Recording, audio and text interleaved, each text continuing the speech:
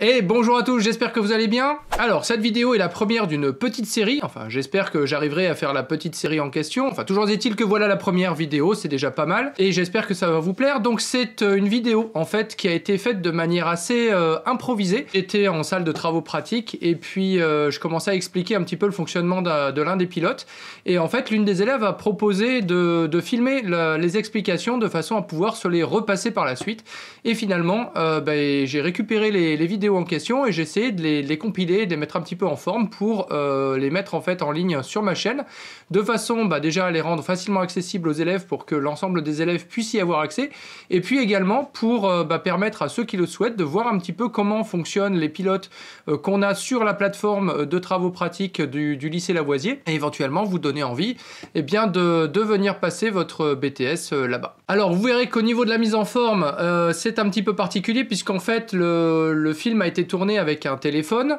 donc euh, j'ai dû retravailler un petit peu le son puisqu'il y avait beaucoup, d'écho à l'intérieur euh, dans, dans, le hall pilote. Et puis la vidéo a été tournée euh, parfois verticalement, parfois horizontalement, ce qui fait que ça a été voilà, un petit peu tricky à mettre, à mettre en forme, mais j'espère que le résultat vous, vous satisfera.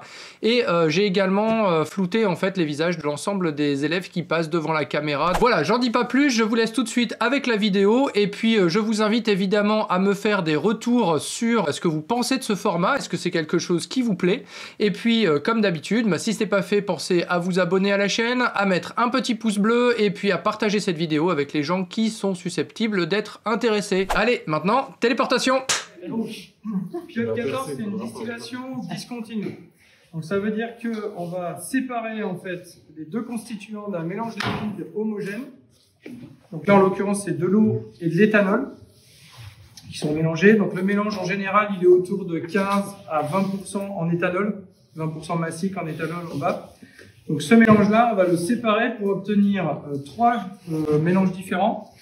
Donc le premier mélange qui est le cœur de distillation, dont on souhaite qu'il ait atteint à peu près 80% de, de, pureté. Il y aura une queue de distillation qui est la suite de la distillation qui sera euh, en dessous de 80%. Donc il y aura la queue de distillation qui sera ici, euh, qui est plus riche en éthanol que ne l'était le mélange initial, mais qui est moins riche que le cœur de distillation. Donc vous allez être sur du 30-40% euh, massif. Et puis vous aurez le résidu. Donc le résidu qui se trouvera du coup dans l'endroit où vous avez chargé le mélange au départ. Et lui, le résidu en fin de manip, normalement, ne contiendra plus que de l'eau. Si vous avez euh, manipulé proprement, normalement, vous n'avez plus que de l'eau dans le résidu en bas. Donc euh, ça se fait en ce qu'on appelle en batch, c'est-à-dire que vous chargez, vous faites la manip et vous sortez les produits. Vous rechargez, vous faites la manip, vous sortez les produits. Ça c'est du batch. C'est en opposition à euh, ce qui est continu, où vous avez une grande cuve, vous alimentez en continu euh, la manip, et puis vous avez des produits qui sortent en continu de l'autre côté. Donc c'est les deux méthodes de, fonctionnement. L'autre pilote, le 15, on verra juste après, c'est la version continue de cette distillation. Alors, donc il y a un pied de colonne, qui est aussi la réserve. La colonne de distillation, donc c'est la bébête qui est ici, hein, la colonne. Donc là, c'est une colonne à plateau à cloche. Alors, ce qui est bien, c'est que vous voyez exactement ce qui se passe à l'intérieur. Donc, euh, les cloches sont les petites, euh, les petits euh, trucs qui dépassent, là, que vous voyez à l'intérieur.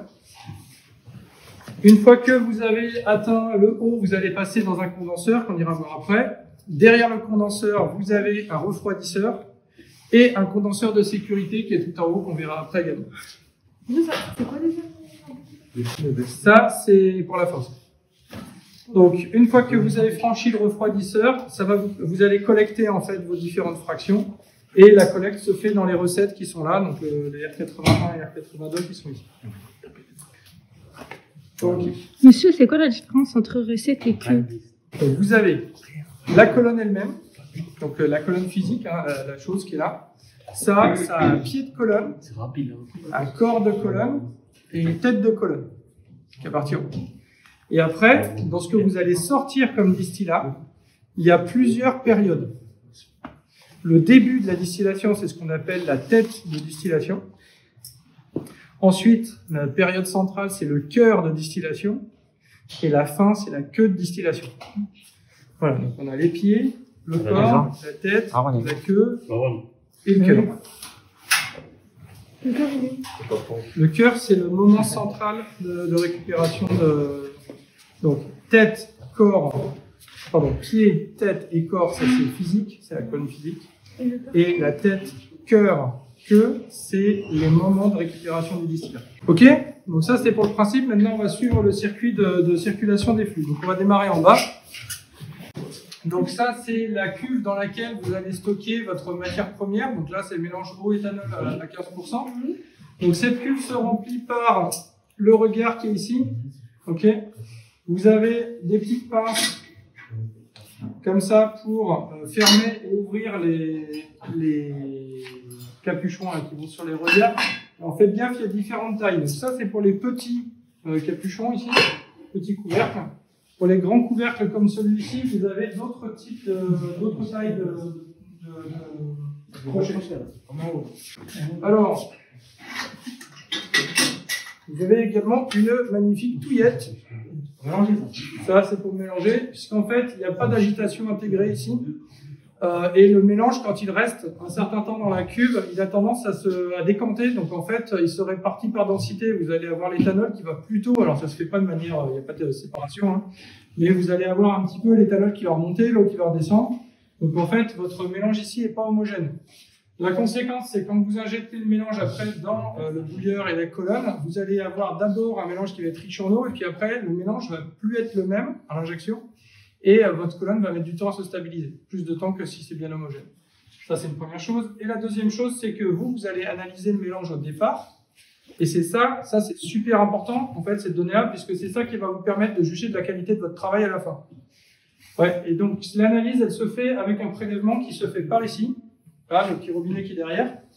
Donc, si vous imaginez qu'il y a plus d'éthanol en haut du mélange qu'en bas du mélange, ben là, vous allez trouver une quantité d'éthanol qui n'a rien à voir avec la réalité de la moyenne du mélange. Au cas extrême, vous aurez quasiment que de l'eau là. Ok, ce qui ne correspondra pas au mélange. Donc, il faut, d'une part, avant de manipuler euh, ici, vous allez mélanger l'intérieur de la cuve. Et euh, une fois que ça c'est fait, vous n'allez pas analyser directement ce qui sort ici, puisque vous n'avez pas mélangé cette partie-là. Vous allez en fait d'abord vider trois brocs que vous remettez dans la cuve, de façon à essayer de faire en sorte que ce soit un échantillon qui vient du milieu de la cuve qui finisse par descendre dans votre, dans votre pilier. Pardon? Voilà, vous faites trois recyclages avant de, de prendre votre analyse. Alors pour atteindre le regard, il y a un escabeau là-bas. hein. J'utiliserai l'escabeau. Ok, donc cette cuve contient votre mélange. Il faut que cette cuve après, elle soit fermée de manière hermétique. Puisqu'en fait, elle va chauffer dans la mesure où elle joue également le rôle de pied de colonne. Vous allez monter à 100 degrés là-dedans. Ouais, donc il faut que votre capuchon là, il soit bien fermé. Euh, le fait d'avoir mal fermé le couvercle, ça peut être une des causes de perte d'éthanol. Si à la fin de votre bilan de matière, vous apercevez que vous avez une grosse perte en éthanol, ça peut venir de là. Du fait que vous avez mal fermé. Ok, alors, une fois que c'est bon, ici, le mélange, il est envoyé dans cette zone-là. Ça passe par ici et ça remonte là-dedans. Donc ça remonte, il n'y a pas de pompe. Vous voyez qu'il n'y a pas de pompe, ça se fait juste par gravité. Quand vous ouvrez les vannes, en fait, le mélange, il s'équilibre entre les deux côtés. Donc là-dedans, vous avez un niveau de liquide qui va être ici. Et ça, en fait, c'est un bouilleur donc qui est alimenté en eau chaude. Donc l'eau chaude, elle arrive par là, on part de l'autre côté. Voilà. Et donc ce bouilleur, c'est lui qui va amener le liquide à ébullition. Monsieur, monsieur c'est marqué E. E, c'est échangeur, non? Oui, c'est un échangeur thermique. bouilleur Parce que c'est un échangeur thermique dont le rôle est de faire bouillir. Donc on appelle ça un bouilleur. Ah, ok. C'est à chaque fois, si vous voulez, vous avez l'appellation générique. hein, ça, c'est une cuve, par exemple. Et dans le cas présent, on va l'appeler réserve, puisqu'en fait, c'est là-dedans qu'il y a le produit de départ. Les cuves qui servent à récupérer ce qu'on a à la fin, on va les appeler des recettes, parce que ça reçoit le produit à la fin. Mais ça reste des cuves. D'accord. Voilà, c'est pareil, vous avez un échangeur qui, en l'occurrence, joue le rôle de bouilleur. Donc le 61 ici, effectivement, qui joue le rôle de bouilleur. Donc ça, ça entre en ébullition. Comme le gaz, c'est léger, ça monte. Donc en fait, le gaz ici va sortir par le haut du bouilleur. Et euh, comme vous libérez du gaz, bah, en fait, le niveau de liquide ici, lui, il a tendance à descendre. Et donc forcément, par gravité, bah, ça se rééquilibre. Et du coup, le, le bouilleur, il est en permanence alimenté en, en liquide. Thermosiphon, on dit ça, non? Pardon? C'est pas le truc thermosiphon C'est ça, ouais, c'est un thermosiphon. Tout à fait. Alors, donc du coup, la vapeur là, elle monte par le tube métallique et elle rentre dans le bas de la colonne. Là, on voit le bas de la colonne, donc le tube métallique arrive en bas de la colonne. et ça va monter dans la colonne. Alors la colonne, elle, elle est évidemment plus froide que le bouilleur, et donc vous allez voir condenser les vapeurs dans la colonne. Alors cette colonne qui est initialement froide, mais comme vous avez de la vapeur chaude qui arrive dedans, petit à petit sa température va monter et elle va, euh, elle va gagner en température, ce qui fait que les vapeurs, elles, vont rester plus longtemps sous forme de vapeur, vont monter dans la colonne et vont condenser plus tardivement dans la colonne. Donc elles vont monter de plus en plus haut. Quand les, vapeurs condensent, on a du, liquide donc, dans la colonne et ce liquide, en fait, il retombe par gravité dans le bas de la colonne et il redescend ensuite dans la cuve qui est là, ce, par le tuyau qui est ici. Ce tuyau-là.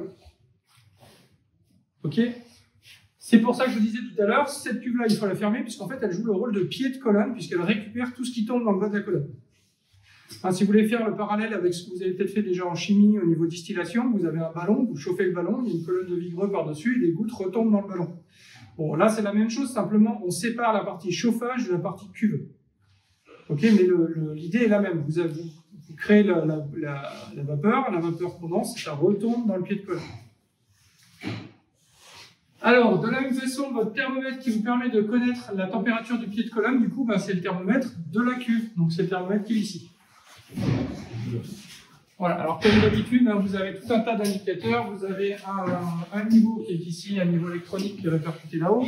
Vous avez un niveau euh, visuel qui est ici sur le côté avec une, euh, une règle de haute technologie fixée avec du scotch. Voilà.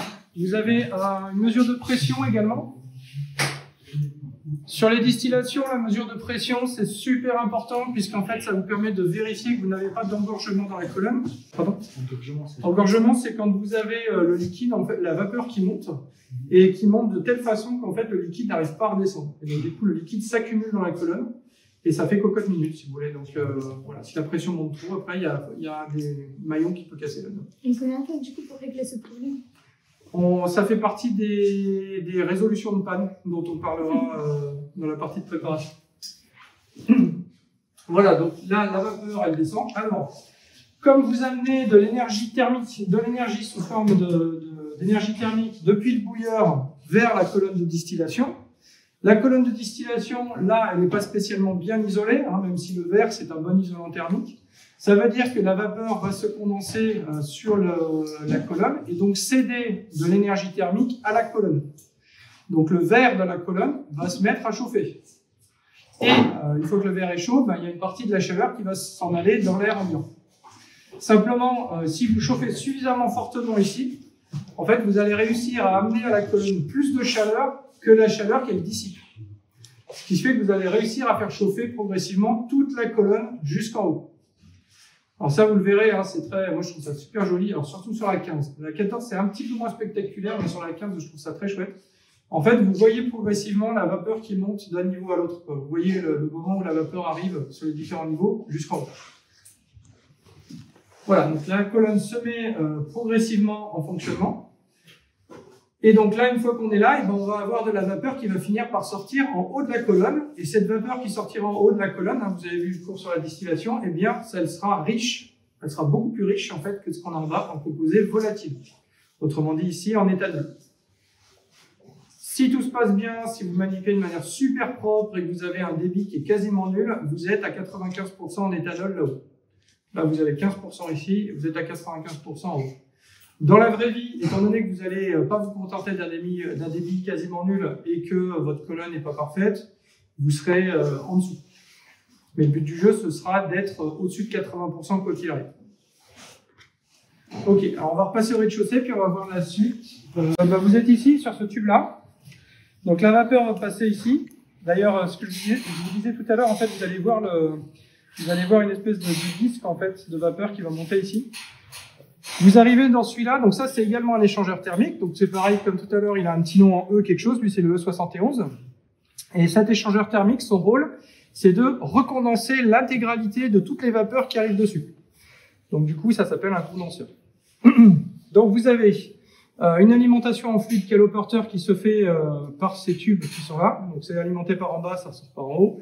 Euh, c'est un serpentin. Et puis donc, la vapeur arrive sur le côté passe ici, ça condense sur le serpentin, ça tombe, et ça va tomber dans le tuyau qui est juste en dessous ici. Ok? Donc là, le but du jeu, c'est, alors c'est important, c'est juste de condenser. C'est-à-dire qu'idéalement, on ne veut pas refroidir la vapeur. Donc là, on amène du froid pour condenser, pour pomper en fait l'énergie qui est l'énergie de transition de phase entre la vapeur et le liquide. Mais ce qu'on ne souhaite pas faire, c'est de refroidir le liquide qu'on a obtenu. Ouais? Donc normalement, si tout se passe bien, vous arrivez en haut de la colonne ici à 78 degrés Celsius. Après le condenseur, idéalement, vous devez être autour de entre 68 et 73. Donc 5 à 10 degrés en dessous de la température de, de la tête de colonne. Donc ce sera à vous de réguler euh, le débit d'eau froide ici justement pour atteindre cet objectif-là, c'est-à-dire condenser sans refroidir. Donc la régulation de débit, elle se fait euh, là, ici avec ce robinet. Donc ça, vous apprendrez pareil à vous en servir, hein, tous les robinets. Euh, dans les petits trucs, fin de manip, de toute façon, moi je passerai vérifier que vous avez tout bien fait. Pensez à prendre le temps de vérifier chaque robinet pour vérifier que tout est fermé.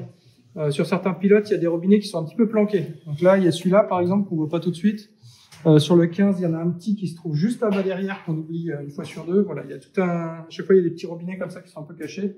Pensez à tout fermer. Donc, vous alimentez le condenseur qui est ici. Alors, tout ce qui est en vert, en fait, euh, c'est fragile dans le sens où ça supporte mal les fluctuations euh, de température trop importantes. Donc, ça veut dire que euh, tout ça, c'est alimenté en eau de ville, qui est à 15-20 degrés, et tout est rejeté à l'égout. Mais pour l'instant, on n'a pas trouvé de solution alternative. Donc, tout ce qui est en vert ici, c'est alimenté en eau de ville avec un rejet à l'égout, avec des températures du coup d'entrée qui sont autour de 15 à 20 degrés. Ce qui est en métal, euh, là, on utilise le circuit d'eau froide du, du hall pilote, et là, on est autour de 4 à 5 degrés en entrée. Voilà, donc alimentation d'eau, ça ressort. Alors, si jamais ce système-là est défaillant, vous, vous avez des vapeurs inflammables. C'est de l'éthanol qui sort. Et il sort normalement à 95 degrés, à 95% massique. Donc, vous ne pouvez pas vous permettre que ce genre de vapeur se balade dans la nature parce que vous avez un risque de- d'explosion à la moindre étincelle. Donc, ça veut dire que derrière ce condenseur-là, vous avez un deuxième condenseur qui est le 73 qui lui est en métal, alimenté en eau froide, donc avec un circuit d'eau différent. Ce circuit-là, c'est un condenseur de sécurité. C'est-à-dire que son rôle, c'est, s'il lui marche pas, lui récupère forcément les vapeurs derrière. Donc là, le but, c'est plus juste de condenser. Là, vous alimentez au maximum de sa capacité, en fait, en, en eau froide. Et euh, il va de toute façon condenser tout ce qui passe dessus. Si jamais les vapeurs continuent, vous avez un détecteur en haut et ça se met en alarme. La partie centrale, c'est la partie où vous allez intervenir pour euh, réguler en fait la sortie du distillat. Donc lorsque le mélange a condensé, il descend par le tuyau métallique qui est ici derrière. Donc là, vous ne le voyez pas tout de suite, mais ça fait un petit coude et en fait, ça arrive à ce niveau-là. Donc à ce niveau-là, vous allez pouvoir regarder la température du distillat. Donc c'est l'indicateur de température qui est ici. Donc là, je vous disais, il faut être à 68, 73, entre 68 et 73 degrés. Et ensuite, vous allez arriver sur un embranchement. Alors là, il y a plein de tuyaux. Et euh, ça, vous le verrez quand on fera le... que je vous donnerai le schéma de tuyauterie. Euh, L'installation telle que- telle qu'elle est faite là ne correspond pas en fait au schéma de tuyauterie qui a été fourni par le fabricant. Il y a une petite modification au niveau des vannes automatiques. ok. Donc, euh, le mélange arrive ici. Il y a deux circuits. Il y a un circuit manuel, qui est le circuit qui est là, et il y a un circuit automatique, qui est le circuit d'en bas. C'est strictement la même chose, simplement d'un côté c'est des vannes automatiques qui contrôlent et de l'autre côté c'est vous qui le faites à la main avec les robinets. Ok, donc déjà vous coupez en deux, si vous voulez, euh, toute la partie basse, vous vous n'allez pas vous en servir, vous allez faire du contrôle manuel uniquement. Donc les deux points de contrôle sont les deux robinets qui sont là. Donc ces deux robinets vont vous permettre de contrôler euh, ce qui se passe, euh, enfin l'avenir du distillat qui est ici. Donc il y a deux choix possibles. Soit vous réenvoyez le distillat dans la colonne. Donc, C'est le circuit de gauche ici. Ça passe là, ça remonte et ça arrive.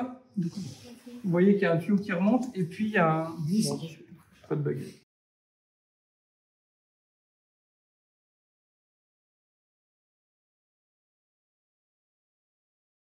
Ici. Donc c'est réinjecté ici dans la colonne. Donc. Donc ça, c'est ce qu'on appelle un reflux. C'est-à-dire que ça retourne dans la colonne. Donc ce, ce circuit de liquide s'appelle le reflux. Donc ce reflux retourne dans la colonne, il retourne en haut de la colonne, et c'est une des raisons pour lesquelles vous avez tout intérêt à, ne, à éviter que ça refroidisse. Parce que si vous renvoyez du froid en haut de la colonne, en fait, vous allez refroidir le haut de la colonne et vous allez la déstabiliser. Donc, du coup, vous allez diminuer la pureté de ce qui sort euh, en haut de la colonne. Donc au début, en fait, ce que vous faites, pour le temps que le système se mette un petit peu à l'équilibre au niveau euh, dissipation thermique, mais tout le distillat retourne en reflux dans la colonne. De cette façon, vous allez laisser le, le condenseur ben, se mettre à température. Toute la tuyauterie ici va progressivement se mettre à température. Votre colonne va progressivement s'équilibrer, c'est-à-dire qu'au tout début, quand vous allez euh, faire bouillir, en fait, vous allez récupérer un mélange en tête de colonne qui est trop pauvre en éthanol. Et ensuite, grâce au reflux, en fait, tout ce qui est euh, haut va redescendre et le haut de la colonne va se charger en éthanol. Voilà, donc il y a toute une période d'équilibration de la colonne. Ça dure un certain temps. Et au bout d'un moment, en fait, votre colonne est équilibrée. Donc une façon de le voir, c'est les températures. Euh, Vous avez la température en tête de colonne, en pied de colonne. Vous avez une température intermédiaire, que vous pouvez lire ici. Et tout ça, au bout d'un moment, ça ne bouge plus, en fait. Et la composition de la colonne également. Alors, analyse du distillat, vous la faites avec un prélèvement à ce niveau-là. Ouais. Donc, euh, par contre, vous faites attention, il sera chaud. Le distillat sera forcément chaud quand vous le sortirez ici. Donc là, il faut faire attention à ce que vous faites. Pareil, au niveau du, pied de colonne, vous allez être amené à analyser régulièrement euh, le pied de colonne. Vous pouvez faire le choix d'analyser régulièrement le pied de colonne, c'est pas obligatoire en l'occurrence là. Si vous le faites, euh, les échantillons que vous allez sortir, ils sont entre 80 et 100 degrés, donc il faudra prendre soin de les refroidir correctement avant de faire votre manip. Et de fermer rapidement le capuchon parce que vous êtes à la température d'ébullition. Donc, euh, comme l'éthanol est plus volatile que l'eau, si vous récupérez votre mélange et que vous le laissez ouvert euh, quelques instants, en fait, votre éthanol va s'en aller. Mais euh, ça, on analyse quand? Pardon? Ce qui sort d'ici, on, a- on analyse quand? Bah, c'est pareil, ce sera à vous de décider à quel moment ça vous semble pertinent d'analyser. Et ce que je vous disais tout à l'heure, hein, vous allez avoir des consignes euh, précises quant au cahier des charges que vous voulez atteindre. Par contre, la façon d'atteindre le cahier des charges, c'est à vous de réfléchir à, à ce que vous allez mettre en place. Et notamment toute la partie analyse, c'est à vous de la, de la décider. Ok, donc une fois que votre système est à l'équilibre, à reflux et que tout se passe bien, vous allez commencer à prélever du distillat. Alors, vous basculez pas instantanément de tout en reflux à tout à distillat. Ça se fait progressivement. C'est-à-dire que vous allez commencer avec un débit distillat qui est pas trop élevé, voir comment ça se passe, de façon à pas euh, déstabiliser brutalement la colonne. Donc, euh, vous ouvrez le robinet qui est là, vous fermez l'autre robinet. Alors, petite subtilité sur ce pilote. Le, circuit qui envoie, si vous regardez les deux, je vais prendre le. Si vous regardez les deux circuits de retour, donc celui-là qui est le circuit de retour de reflux, et vous regardez celui-là qui est le circuit de prélèvement de distillat, celui qui est ici, en fait, le prélèvement de distillat, il est légèrement plus haut que le circuit de reflux. Ce qui fait que, quand vous êtes ici avec ce robinet-là qui est fermé et celui-là qui est ouvert à fond, si vous ouvrez ce robinet à fond, ben en fait, il se passe rien. Vous allez voir ici le débit qui va monter d'un coup, redescendre, parce qu'en fait, vous avez rempli le tube, puis ça s'est arrêté avant le coude. Parce qu'en fait, ça coule de l'autre côté, dans la colonne. Ça veut dire que si vous voulez prélever du distillat, il faut ouvrir ça à fond. Et ensuite, il va falloir fermer le deuxième robinet, celui de gauche, pour obliger le liquide à sortir par le côté, euh, côté euh. Ouais. Voilà.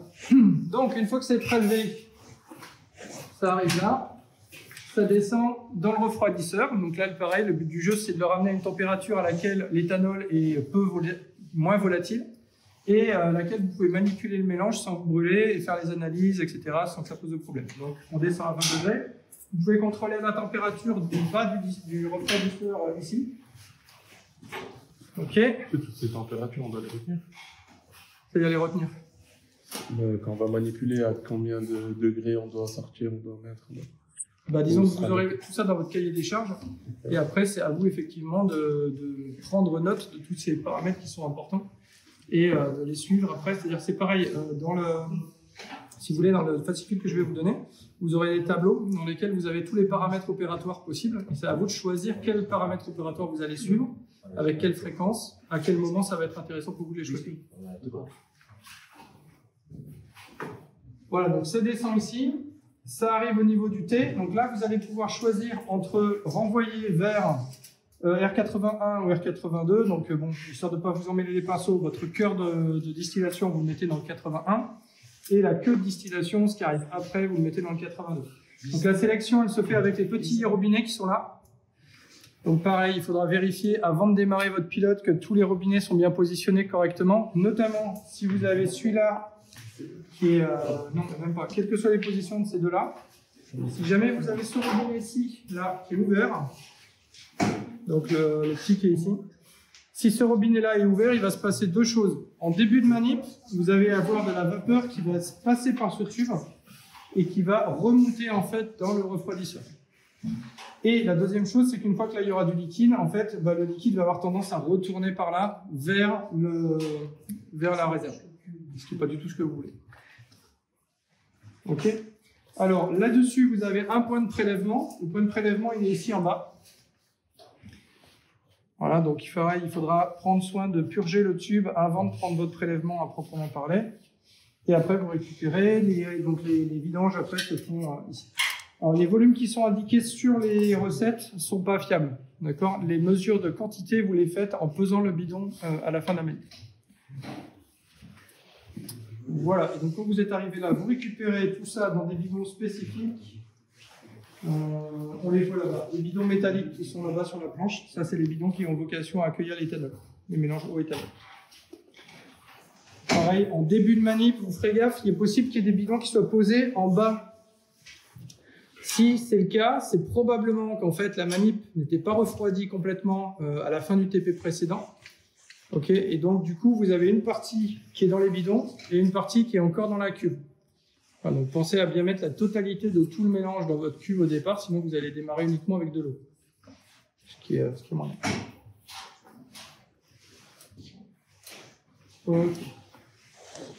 Euh, bon, je crois qu'on a fait le tour. Au niveau des valeurs numériques, donc là vous êtes à 300 litres à l'heure à peu près pour le chauffage.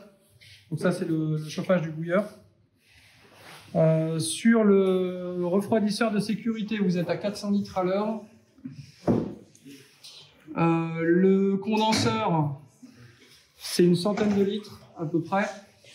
Et le refroidisseur, on doit être à 40. J'ai plus le chiffre, ouais, c'est ça. Vous êtes à 40 litres à l'heure sur le, le refroidisseur. Monsieur, vous êtes pour le 400 C'est pour le, le condenseur de sécurité.